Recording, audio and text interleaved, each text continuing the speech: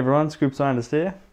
So recently I was on eBay looking at some silver jewelry. Um, I placed a bid on it and actually won. So I've bought all of this here uh, for about $35 uh, Australian.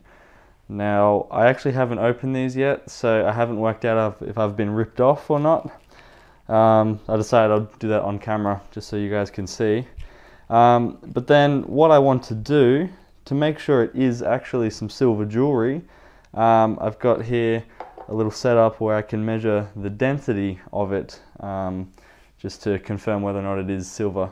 I would imagine this stuff is sterling silver though, uh, which is usually about 92.5% silver and the rest some other metals. Uh, I'm going to make an assumption though and say that it is copper, that the other remaining percentage of the metal is copper. But let's uh, open these up here and have a look at them.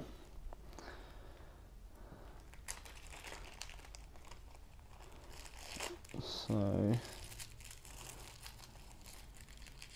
yeah, these arrived just today, so I'm picking them up. I just, yeah, just picked them up before. Yeah, look at that.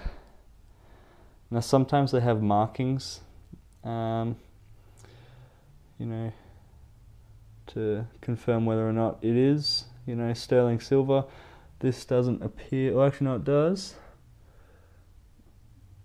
Yeah, this has a 925 on it, which would indicate that's 92.5% silver. So already I believe this is silver, but I will still uh, measure the density. But let's open up the rest.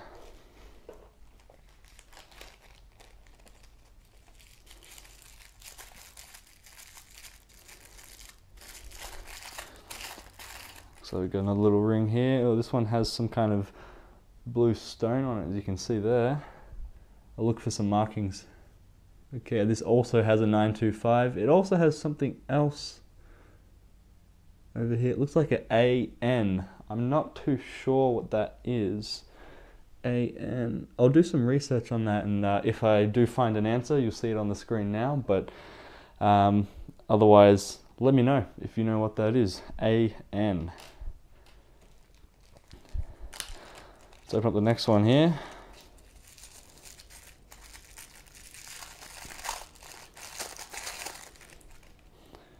Yeah.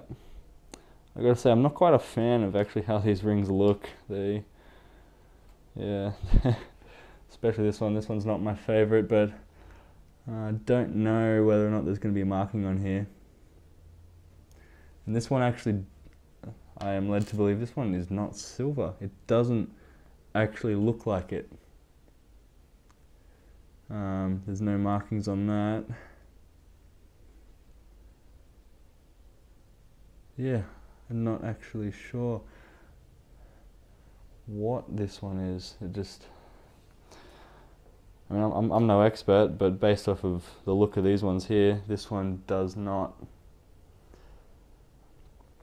just doesn't, it, it looks almost like it's, um, some kind of steel or or iron, some something like that. Anyway, it's the next one.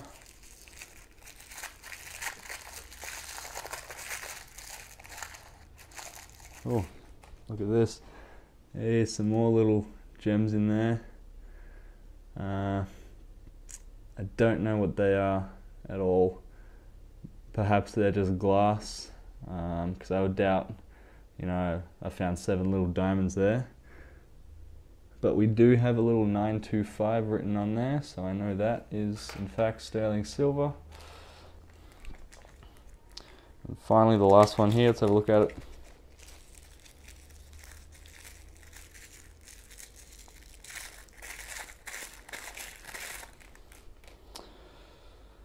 Okay, let's see. And again, we do have a 925 on there.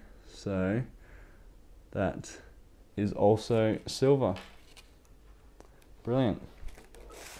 So that's what I got. This one here I'm a little little concerned about.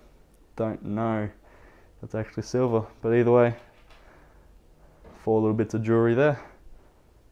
Alright, so this is kind of what I'm working with here. So I've got the, uh, the known densities of sterling silver there and just silver. uh, you'll notice that the sterling silver's density is, is actually uh, less.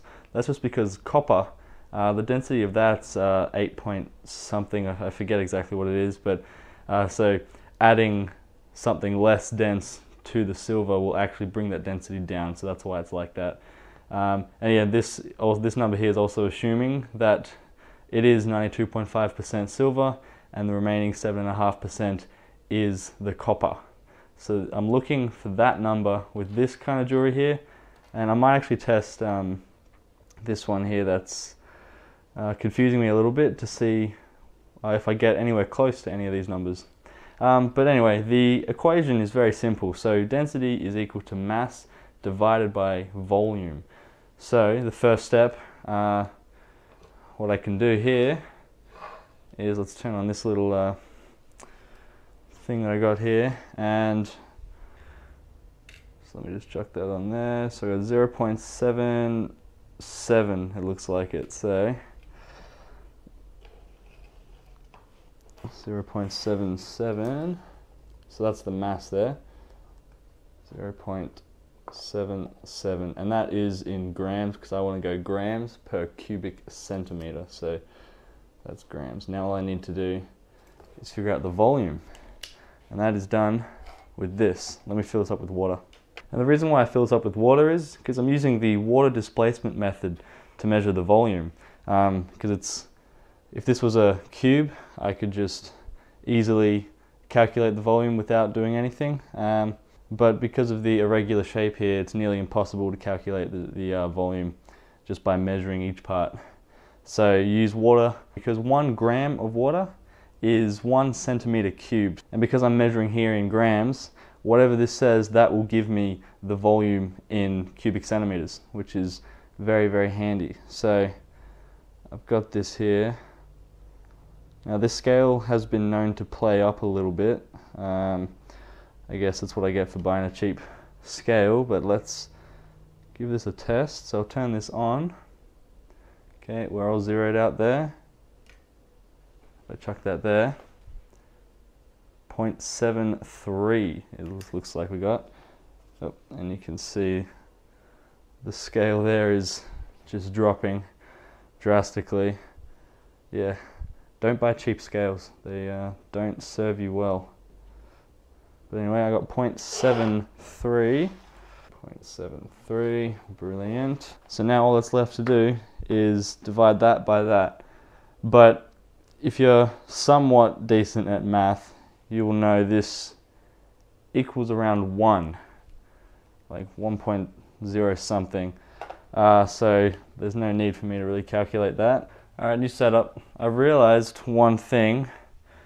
I was using this, I was essentially just measuring the weight of this silver again, you can't actually have it touch the sides or the bottom of the container at all.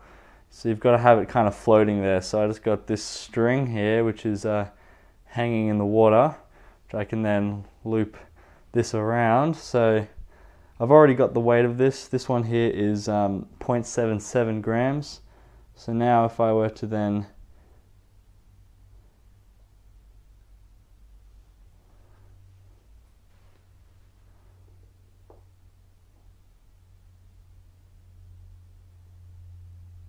We're at 0.11.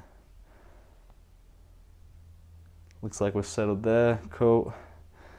Um, so now, if I come back over here, uh, 0.77 divided by 0.11, what I should get, okay, I got 7. So because I'm not too sure what that one is, that could make sense to what it actually is. So what I'm going to do is I know this one here for sure is sterling silver. Uh, I've already measured the weight of this one. This is 1.29 grams. So let's hang it up on the string there, get that volume. All right, so let's get, oh, dropped all the way through. It's now just measuring the weight. That's not what I want.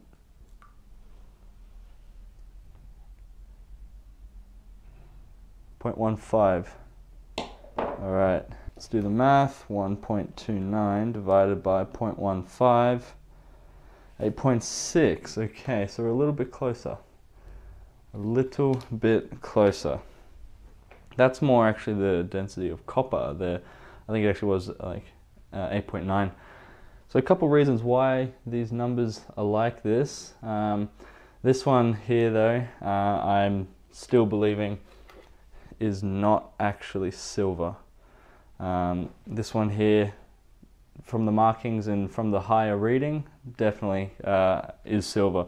But yeah, the reason why I think the numbers are kind of varying quite uh, drastically um, and are not actually as close is because of my scales. They're just not that accurate. So what I'm going to do is I'm going to try to measure this again from the top. So let's get that off. Okay, we're actually settling on 1.21 there for a bit. So originally I had 1.29, so let's try that. 1.21.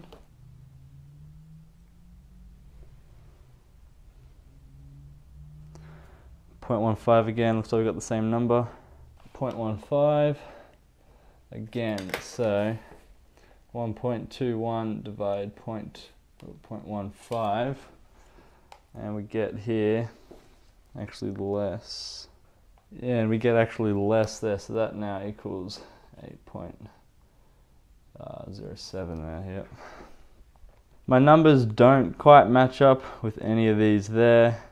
Uh, what I'm going to go and do is actually purchase a uh, better scale, one that's uh, more accurate and that doesn't uh, start decreasing down to zero once you have something on there for a bit. Uh, that should hopefully get me some better numbers next time. Um, but this video for now is more like a uh, proof of concept, I suppose. It's like um, just showing how you can actually measure uh, the density of an object. Um, but what I have planned for these bits of silver though um, is I want to uh, melt them down maybe, uh, or actually um, before melting I would like to remove all the other metals from them. Uh, so I'll take out all the like jewels as well and then dissolve it in some nitric acid and then uh, purify it just so I can get myself a nice little um, chunk of pure silver there. But anyway, I hope you did enjoy this video. Hopefully you learned something at least. Uh, I know I did. Don't buy cheap scales. So yeah, all I gotta do now is get my hands on some nitric acid and I can attempt to purify some of these rings, some of this jewelry. But anyway, if you did enjoy this video, please give it a big thumbs up and don't forget to subscribe to see future videos like this one.